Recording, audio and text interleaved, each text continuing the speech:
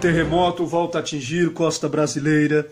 Nós tivemos agora há pouco, por volta de 4h45, horário de verão, um terremoto de 4,9 na escala Richter.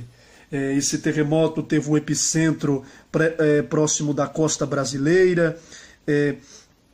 De, é, nessa região de Fortaleza, Rio Grande do Norte, João Pessoa, Recife, Alagoas, ou seja, o terremoto foi na costa do Brasil, no Nordeste brasileiro. A atividade sísmica está aumentando ao todo instante nessa área. Nós já tivemos vários boletins aqui a respeito desses terremotos que vêm acontecendo. Terremotos nessa área, eu volto a repetir, são incomum, porque atividade vem aumentando é, a cada momento.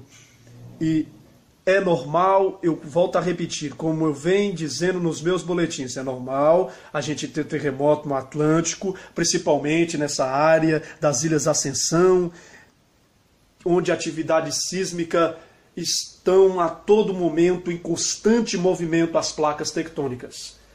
É normal também a gente ter terremoto embaixo do, é, do Atlântico, ou seja, nesta área onde fica a região britânica, um pouco próximo é, da Antártida. Então, isso é normal. O que está acontecendo é que a gente está tendo, nessas últimas semanas, um aumento na atividade sísmica na costa brasileira. Esse terremoto de hoje foi medido para 4,9 na escala Richter.